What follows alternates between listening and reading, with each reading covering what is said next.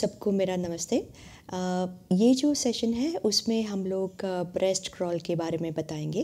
Breast crawl during normal delivery और breast crawl during caesarean section जब भी जो सर्जरी होती है यू नो ऑपरेशन जब भी ऑपरेशन से बच्चा लिया जाता है तो वो टाइम पे भी हम लोग ब्रेस्ट क्रॉल करा सकते हैं। तो ये चार ट्यूटोरियल है आ, बहुत ही महत्वपूर्ण है। ब्रेस्ट क्रॉल नॉर्मल डिलीवरी में आ, आपको इंसिस्ट करना है आ, कि हर बच्चे को ब्रेस्ट क्रॉल कराए। जैसे बच्चा पैदा होता है उसको यू नो तुरंत ही अगर बच्चा रो रहा है, बच्चा यू नो स्वस्थ है तो उसको तुरंत ही माँ के पेट पे रखना है। पूरा उसका प्रोसीजर है। हम लोगों ने स्टेप बाय स्टेप ट्यूटोरियल में दिखाया है, आप देखेंगे। जितना बच्चा तुरंत ही माँ का दूध पिएगा, उतना उस, वो बच्चा सीखेगा कैसे दूध पीना है, कैसे मुँह खोलना है, कैसे स्तन को चूसना है। वो पूरा वो, जितना जल्दी वो हम लोग स्तन पे रखेंगे, उतना बच्चा जल्दी सीखेगा। दूसरा है, जैसे वो बच्चा दूध पीना चालू करेगा माँ को ज़्यादा दूध आएगा, ठीक है? तो ये आपको ध्यान में रखना है कि जितना जल्दी आप बच्चे को स्तन पे रखेंगे, माँ का दूध बनना चालू हो जाएगा, ठीक है? दूसरा बहुत सारे फ़ायदे हैं कि तुरंत माँ को जो पोस्टमार्टम हेमरेज बोलते हैं, जब भी बहुत खून जाता है, वो भी कम जाएगा, ठीक है? माँ के तो ऑफकोर्स बहुत सारे फ़ायदे हैं, लेकिन बच्चे के लिए तो ये इन्फेक्शन रोग प्रतिकारक शक्ति बढ़ाएगा तो इन्फेक्शन कम होंगे उसको तुरंत ही उसकी जो प्रक्रिया है जो यू नो दूध पीना और उसका जो उसका जो मल निकलना, वो भी चालू हो जाएगा। ठीक है? तो वो भी आपको ध्यान में रखना है। सिजेरियन सेक्शन में भी आप डॉक्टर को पहले से बता सकते हैं कि बच्चे को कैसे यू नो ब्रेस्ट रोल कराना है। ये तीनों ट्यूटोरियल में हम लोगों ने दिखाया हुआ है कि बच्चे को मतलब ऐसे सीधे ना रखते हुए उसको साइड में रख सकते हैं, ठीक है? और साइड में मतलब पैर एक बाजू आएगा और सिर दूसरे स्तन पे आएगा। बच्चा ऊपर से भी आ सकता है। तो नर्स उसको ऊपर से भी दूध पिला सकती है मतलब ऊपर से यू नो पैर कंधे के ऊपर और सिर स्तन के ऊपर। तो वो भी आपको बहुत ध्यान से देखना है ये ट्यूटोरियल और आपको बहुत एक्चुअली नया जानने को मिलेगा। और चार ट्यूटोरियल जैसे मैंने बताया breast roll during normal delivery और ब्रेस्ट रोल तीन ट्यूटोरियल है, वो सिजेरियन सेक्शन के ट्यूटोरियल्स है। ठीक है? धन्यवाद। ब्रेस्ट क्रॉल पर स्पोकन ट्यूटोरियल में आपका स्वागत है। इस ट्यूटोरियल में हम सीखेंगे कि ब्रेस्ट क्रॉल क्या है। इसे करने का पूरा तरीका और ये क्यों ज़रूरी है। आइए पहले हम समझेंगे कि ब्रेस्ट क्रॉल क्या है। जब शिशु पैदा होता है तो वह प्राकृतिक रूप से स्तनपान करना जानता है।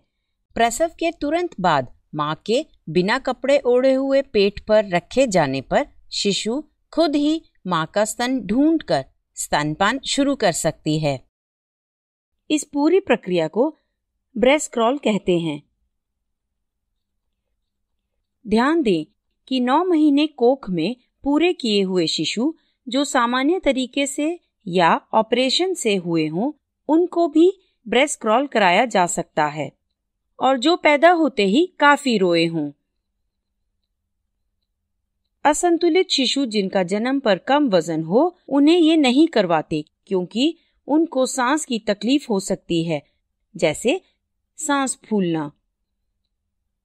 अब हम बात करेंगे ब्रेस्ट क्रॉल करने के तरीके की और ये करना क्यों ज़रूरी है। पहले ये पक्का कर लें कि प्रसव के कमरे का तापमान 26 डिग्री सेल्सियस है। अगला, शिशु को उसके माँ के बिना कपड़े ओढ़े हुए पेट पर रखकर साफ़ करें। शिशु के हाथों के अलावा उसका पूरा शरीर साफ़ करें। याद रखें कि शिशु के हाथ गीले रहने दें। साफ़ करते हुए उसके शरीर की सफ़ेद परत न उतारें। ये शिशु को ठंडे वातावरण से बचाता है। शिशु को साफ़ करने के बाद वो गीला कपड़ा हटा दें। शिशु को सुखाने के बाद स्वास्थ्य सेविका को धड़कन वाली नाल महसूस करनी चाहिए। जैसे ही धड़कन बंद हो जाए, उसे काट देना चाहिए। अब फिर से शिशु को माँ के बिना कपड़े ओढ़े हुए पेट पर इस तरह रखें कि उसका पेट माँ के पेट को छुए। उसका सर माँ के बिना धुले स्तनों के बीच में रखा जाना चाहिए और उसका मुँह माँ के स्तनों के नीचे होना चाहिए। अब शिशु ब्रेस्ट क्रॉल के लिए सही स्थिति में है।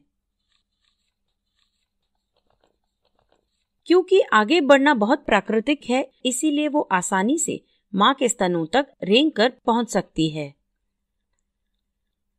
अगला, शिशु और माँ को गर्म रखने के लिए उनको एक साफ़ सूखा कपड़ा ओढ़ाएँ। और शिशु को टोपी पहनाएँ। ध्यान दें कि आगे के चित्रों में टोपी और कपड़ा नहीं दिखाया जाएगा।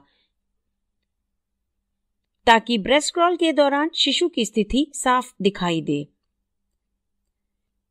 शिशु को कपड़ा उड़ाने के बाद माँ को अपने हाथ से शिशु की पीठ को सहारा देने को कहें। अब बात करेंगे शिशु के ब्रेस्ट क्रॉल करने की काबिलियत की।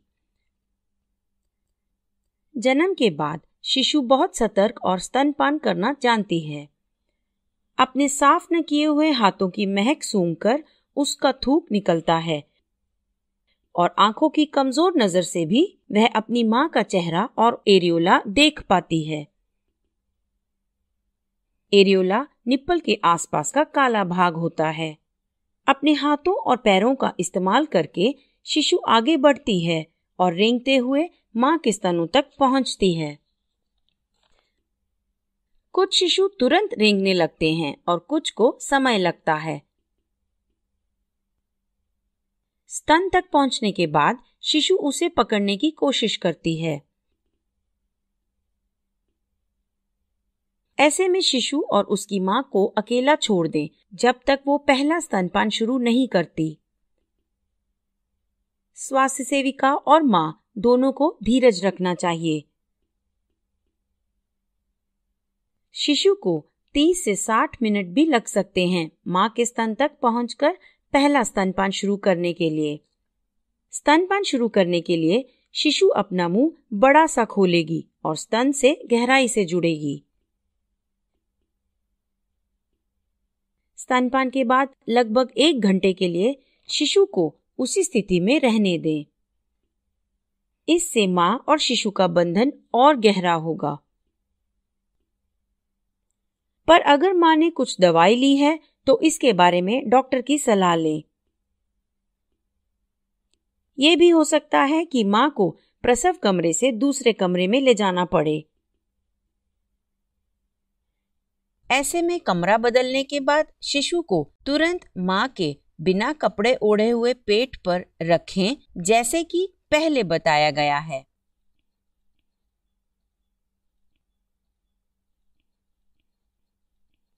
अब बात करेंगे ऑपरेशन से हुए शिशुओं के लिए ब्रेस्ट क्रॉल की। ये करने के लिए शिशु को माँ के पेट पर रखने के बजाय माँ के सीने पर इस तरह रखना चाहिए कि शिशु की टांगे माँ के सर की तरफ़ हों। शिशु का सीना और पेट माँ के कंधे पर और उसका मुँह माँ के स्तन पर होना चाहिए। ऑपरेशन वाले कमरे में ही शिशु को जितनी देर हो सके स्तन को चूसने दें। याद रखें, प्रसव के तुरंत बाद किसी भी देखभाल से ज़्यादा ज़रूरी है कि दोनों के बिना कपड़े ओढ़े हुए शरीर एक साथ रखे जाएँ। ब्रेस्ट क्रॉल होने के बाद ही जन्म के बाद वाली नवजात देखभाल देनी चाहिए। अब बात करेंगे कि ब्रेस्ट क्रॉल नवजात शिशु के लिए क्यों ज़रूरी है। ब्रेस्ट क्रॉल करके शिशु को माँ का पहला दूध, जिसे कोलेस्ट्रम कहते हैं, वो मिलता है। वो पीला और गाढ़ा होता है। ध्यान दें कि प्रसव के बाद कोलेस्ट्रम की मात्रा शिशु के हर स्तनपान के बाद धीरे धीरे बढ़ेगी। पहले दिन शिशु पाँच मिलीलीटर पिएगा। दूसरे दिन दस मिलीलीटर पिएगा और तीसरे दिन पच्चीस मिलीलीटर। 40 मिलीलीटर चौथे दिन और 55 मिलीलीटर पाँचवें दिन। ऐसा हर स्तन से हर बार स्तनपान के दौरान होगा। इतना नवजात शिशु के लिए काफ़ी है। इसलिए शिशु को कोलेस्ट्रम के अलावा कुछ नहीं देना चाहिए। कोलेस्ट्रम शिशु के लिए पहला टीका है। उसमें इन्फेक्शन से लड़ने के लिए प्रोटीन होता है, जो शिशु की रोग प्रतिरोधक शक्ति बढ़ाता है। जन्म के बाद शिशु को ताकत पहली बार इसी से मिलती है। कोलेस्ट्रम शिशु के खून में ग्लूकोज को कम होने से बचाता है और शरीर की बाकी प्रक्रिया बनाए रखता है और एक स्वस्थ दिमाग भी बनाता है। ये शिशु को उसका पहला मल निकालने में मदद करता है।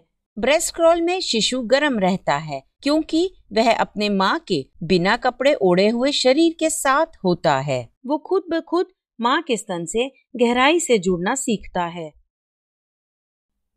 ब्रेस्ट क्रॉल से माँ के स्वस्थ बैक्टीरिया शिशु को मिलते हैं, और ये बैक्टीरिया शिशु के आंतों में जाकर इन्फेक्शन से लड़ते हैं, जिससे कि शिशु की रोग प्रतिरोधक शक्ति बढ़ती है।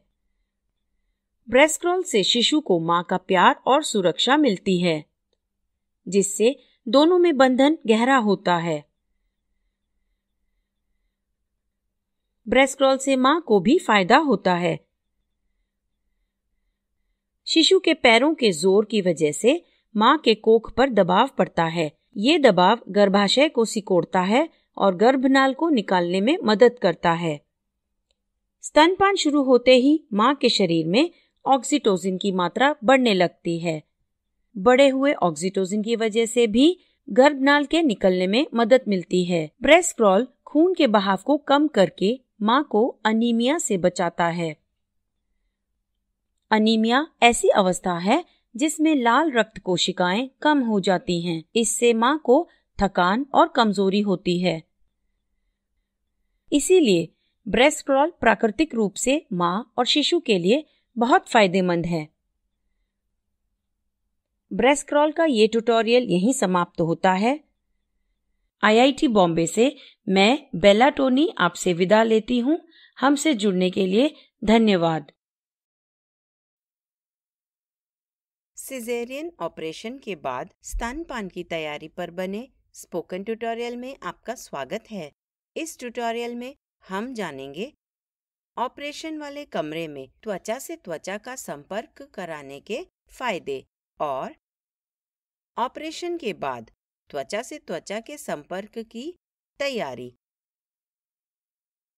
इस ट्यूटोरियल में ऑपरेशन वाले कमरे को ओ आर कहा जाएगा। त्वचा से त्वचा के संपर्क को एस टी एस कहा जाएगा। चलिए शुरू करें। ऑपरेशन वाले कमरे में जल्द से जल्द माँ और नवजात शिशु के लिए एस टी एस ज़रूरी है। यह ऑपरेशन के दौरान और ऑपरेशन के तुरंत बाद के समय में उन्हें बहुत फ़ायदा दे सकता है। यह उनके स्वास्थ्य से जुड़ी लंबी या फिर छोटी बीमारियों में गहरा असर करता है। यह स्तनपान को आसान बनाता है। त्वचा से त्वचा के संपर्क के समय माएँ अपने नवजात शिशु पर ज़्यादा ध्यान देती हैं। शिशु पर यह ध्यान देने से माँ को दर्द कम महसूस होता है।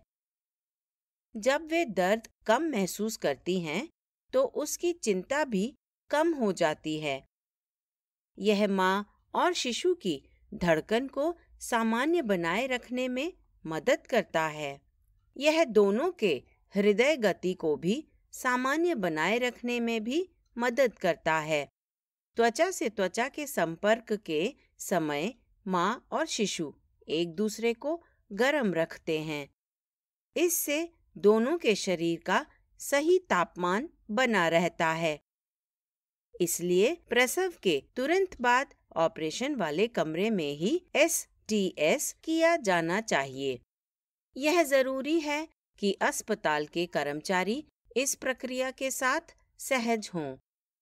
इसके लिए पूरी और सही तैयारी ज़रूरी है।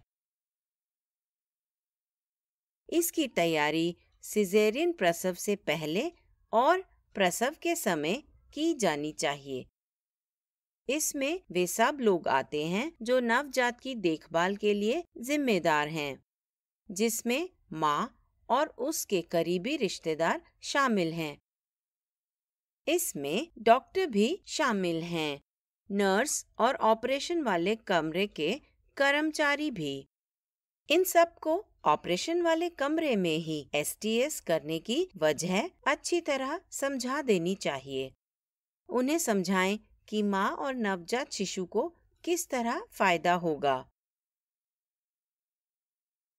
सबको ऑपरेशन वाले कमरे में त्वचा से त्वचा का संपर्क शुरू करने के बारे में फ़िक्र हो सकती है। उनकी फ़िक्र कम करने के लिए उन्हें माँ और शिशु की सुरक्षा का आश्वासन दें। माँ और शिशु की सुरक्षा और भलाई की हमेशा पहली प्राथमिकता होनी चाहिए। ऑपरेशन वाले कमरे में होने वाली चिंताओं को शांति और स्पष्ट रूप से निपटाया जाना चाहिए।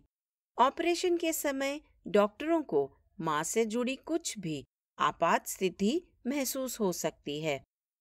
ऐसे मामलों में ऑपरेशन वाले कमरे में त्वचा से त्वचा का संपर्क पूरा नहीं हो पाता। नवजात को उचित वातावरण में ज़रूरत के मुताबिक देखभाल के लिए ले जाया जाएगा। प्रसव से पहले ऑपरेशन वाले कमरे में मदद के लिए एक नर्स को रखना चाहिए। उसे माँ को अपना परिचय देना चाहिए। उसे पक्का करना होगा कि माँ ऑपरेशन वाले कमरे में एसटीएस करना चाहती है। अब प्रसव से पहले ओआर में होने वाले सभी कामों के बारे में बात करते हैं। ऑपरेशन वाले कमरे में माँ की बाहों को हाथ के बोर्ड से बांधा जा सकता है। आईवी लाइन वाले हाथ के बोर्ड पर बाएँ बाजू को बांधना बेहतर रहता है। रक्तचाप कफ वाला दूसरा बोर्ड दाहिने बाजू से बांधा जाता है। उस समय वहाँ मौजूद नर्स मदद करेंगी। उसे डॉक्टर से पूछना चाहिए कि क्या दाहिने हाथ को एसटीएस के लिए छोड़ा जा सकता है। और माँ को बताना चाहिए कि उस हाथ का इस्तेमाल शिशु को एसटीएस के लिए पकड़ने के लिए किया जाएगा। छोड़े हुए हाथ को रक्तचाप मापने के लिए हर कुछ मिनटों में सीधा किया जाएगा। नर्स को कमरे का तापमान 25 डिग्री सेल्सियस पर बनाए रखना चाहिए। यह तापमान शिशु के आने के लिए सही होता है। नर्स को यह पक्का करना चाहिए कि माँ ने ब्रा नहीं पहनी है। माँ की मैक्सी सामने से खुली होनी चाहिए। इससे शिशु को माँ की छाती पर रखने के लिए छाती से मैक्सी हटाने में आसानी होगी। नर्स को माँ की नसों में लगी इंजेक्शन की ट्यूबों की स्थिति पर ध्यान देना चाहिए। इससे उसे शिशु को रखते समय उन इंजेक्शन की ट्यूब से बचने में मदद मिलेगी। अंत में उसे एक डायपर या लंगोट, गर्म तौलिए और कंबल तैयार रखने चाहिए। इनका उपयोग वह शिशु को सुखाने और ढकने के लिए करेगी। ऑपरेशन वाले कमरे में त्वचा से त्वचा के संपर्क की तैयारी अब पूरी हो गई है। ऑपरेशन वाले कमरे में एस टी एस कैसे शुरू करें, इसके बारे में एक अन्य ट्यूटोरियल में बताया गया है। ज़्यादा जानकारी के लिए कृपया हमारी वेबसाइट पर जाएँ। अब यह ट्यूटोरियल यहीं समाप्त होता है। आईआईटी बॉम्बे से मैं बेला टोनी आपसे विदा लेती हूँ। हमसे जुड़ने के लिए धन्यवाद। सी सेक्शन के बाद त्वचा से त्वचा के संपर्क की प्रक्रिया पर बने स्पोकन ट्यूटोरियल में आपका स्वागत है।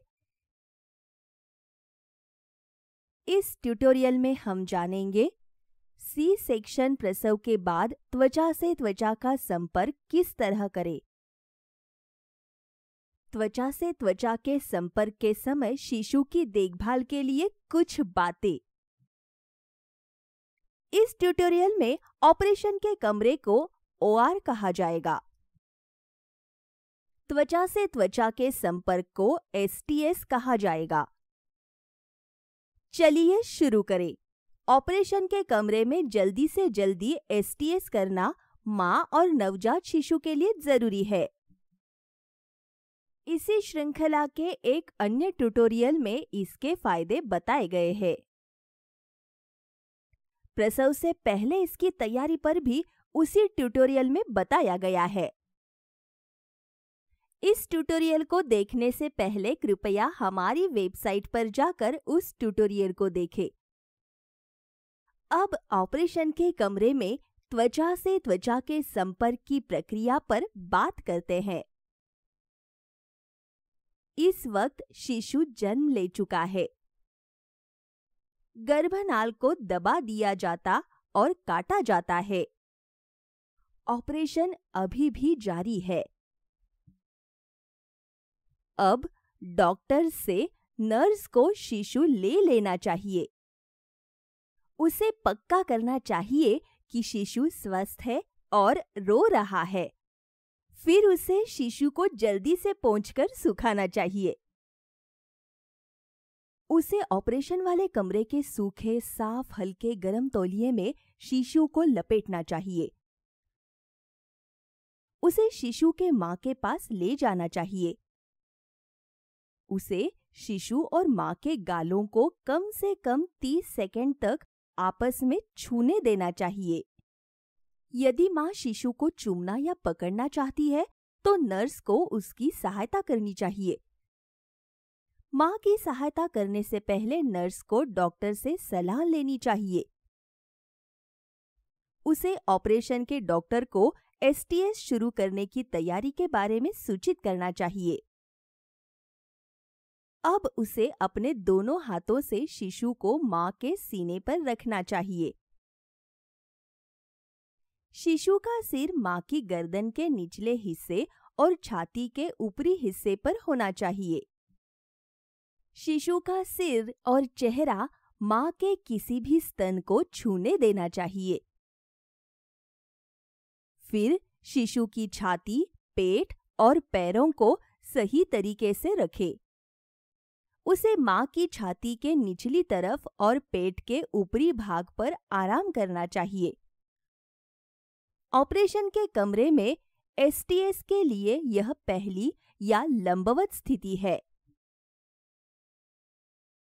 इस तरीके से माँ नवजात को आसानी से पकड़ सकती है। शिशु को दूसरी तरह भी रखा जा सकता है, जिसे क्षैतिज स्थिति कहा जाता है। इस स्थिति में डॉक्टर के ऑपरेशन करने वाली जगह में कम अड़चन होती है। शिशु का सिर एक स्तन पर रखना चाहिए।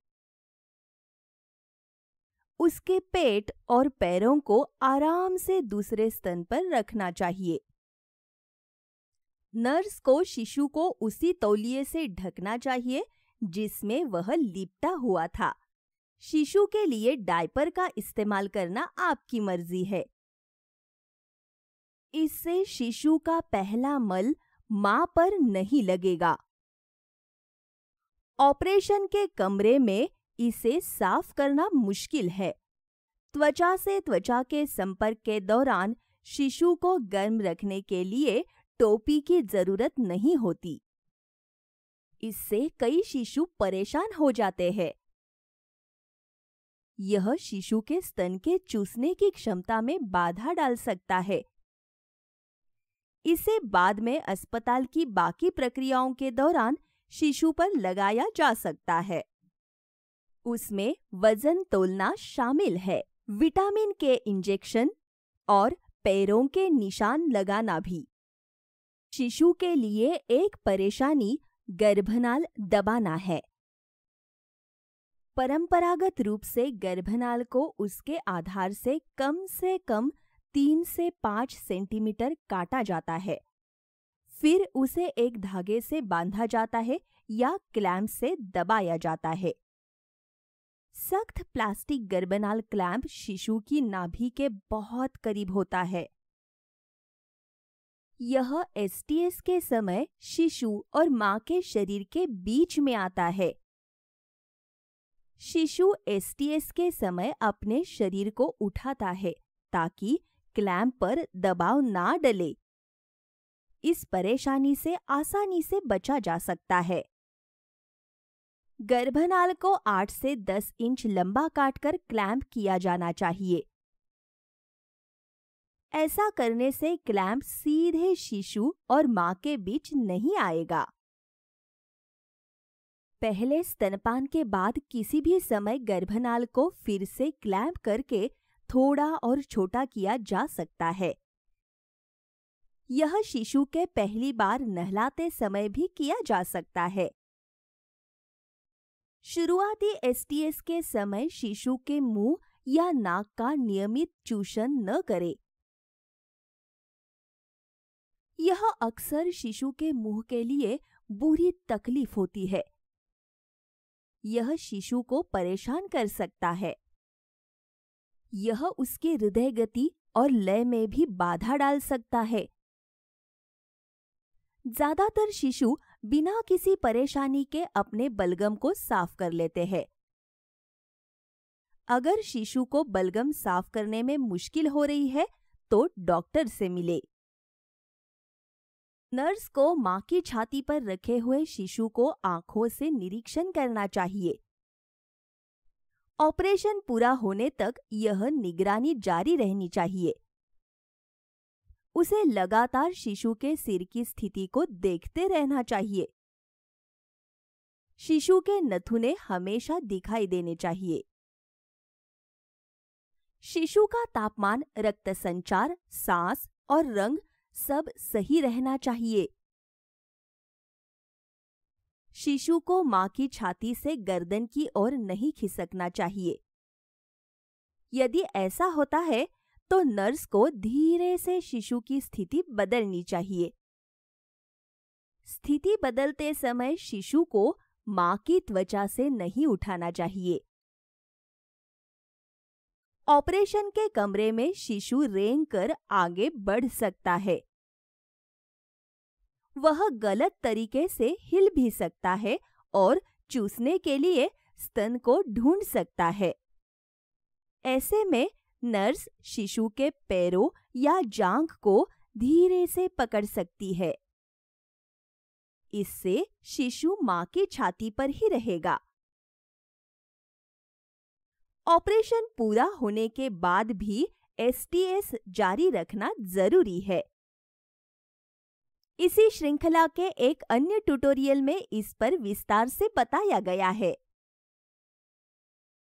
अब यह ट्यूटोरियल यही समाप्त होता है। यह स्क्रिप्ट बेल्ला टोनी द्वारा अनुवादित है। मैं स्नेहांकिता देवगेकर आपसे विदा लेती हूँ। हमसे जुड़ने के लिए धन्यवाद। ऑपरेशन के बाद त्वचा से त्वचा के संपर्क को जारी रखे जाने के बारे में बने स्पोकन ट्यूटोरियल में आपका स्वागत है। इस ट्यूटोरियल में हम जानेंगे, ऑपरेशन पूरा होने के बाद त्वचा से त्वचा का संपर्क जारी रखने के तरीके। इस ट्यूटोरियल में ऑपरेशन वाले कमरे को ओ आर कहा जाएगा। त्वचा से त्वचा के संपर्क को एस टी एस कहा जाएगा। चलिए शुरू करें। ऑपरेशन वाले कमरे में सबसे पहले माँ और नवजात शिशु के लिए एस टी एस ज़रूरी है। एक अन्य ट्यूटोरियल में इसके फ़ायदे और तरीकों के बारे में बताया गया है। ज़्यादा जानकारी के लिए कृपया हमारी वेबसाइट पर जाएँ। अब बात करते हैं कि ऑपरेशन पूरा होने के बाद एस टी एस कैसे किया जाए। अब इस स्तर पर जीवाणु रहित कपड़ा हटा दिया गया है। माँ अब स्ट्रेचर पर लेटने के लिए तैयार है। उसे स्ट्रेचर पर रिकवरी रूम में ले जाया जाएगा। माँ को स्ट्रेचर पर लिटाने से पहले शिशु की स्थिति को दोबारा ठीक करनी चाहिए। नर्स को धीरे धीरे शिशु के पैरों को हिलाकर सीधी स्थिति में रखना चाहिए। शिशु का सर माँ के स्तनों के बीच में होना चाहिए। माँ शिशु के ऊपर अपनी बाहें रख सकती है। नर्स अपने हाथों को माँ के हाथों के ऊपर रख सकती है। ऐसा करने से जब माँ को स्ट्रेचर पर डाला जाएगा, तब शिशु सुरक्षित रहेगा। अब उसे स्ट्रेचर पर सरकाया जा सकता है। यह एक आसान प्रक्रिया है। स्ट्रेचर बदलते समय शिशु को कभी भी माँ के सीने से अलग नहीं करना चाहिए। वह रिकवरी रूम तक उसी स्थिति में जा सकती है।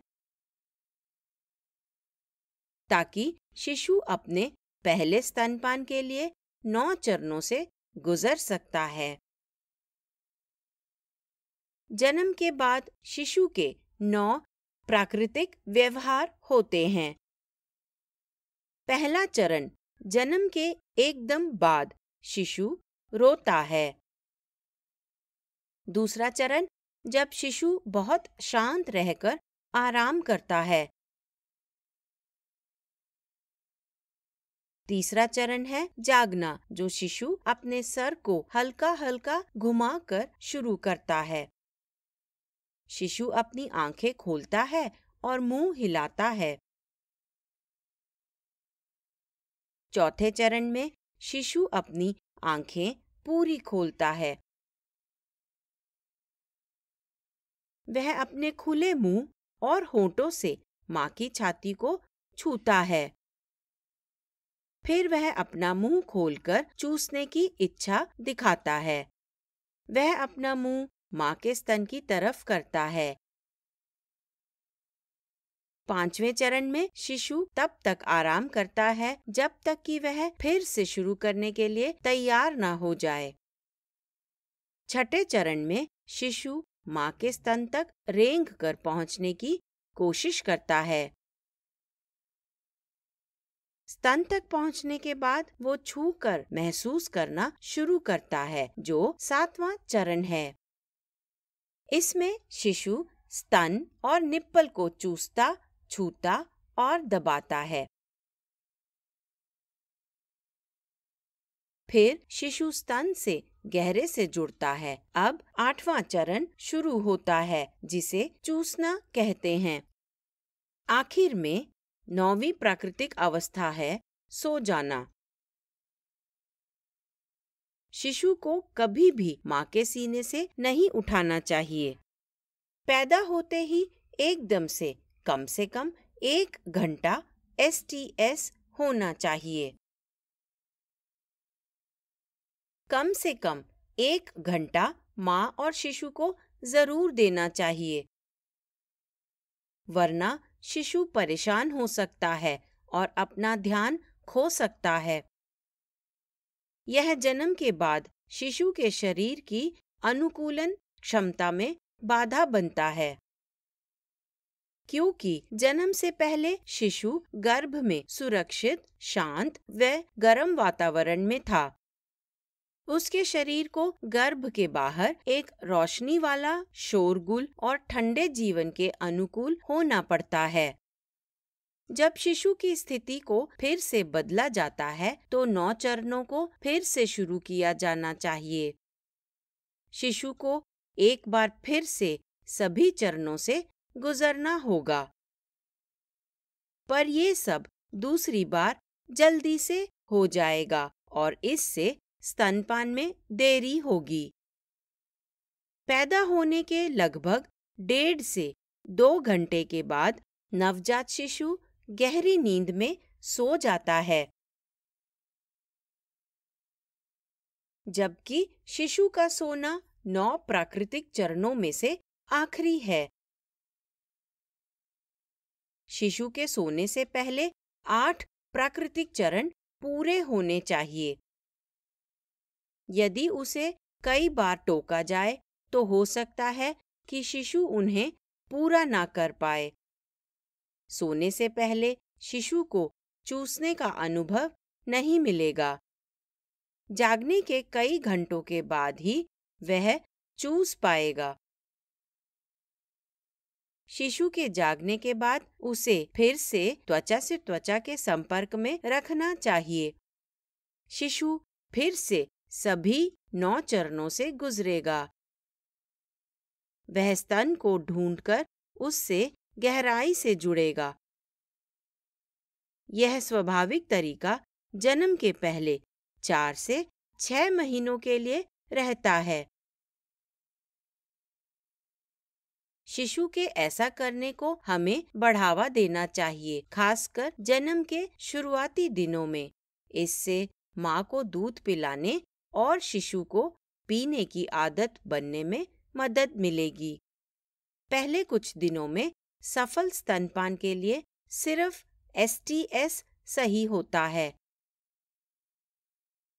यह तरीका शिशु के दूध पीने के स्वाभाविक व्यवहार को सक्रिय करेगा। इससे शिशु स्तन से, गहराई से जुड़ना जल्दी से सीखेगा।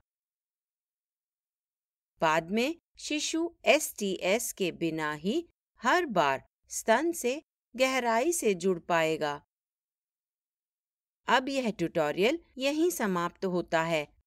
आईआईटी बॉम्बे से मैं बेला टोनी आपसे विदा लेती हूँ। हमसे जुड़ने के लिए धन्यवाद।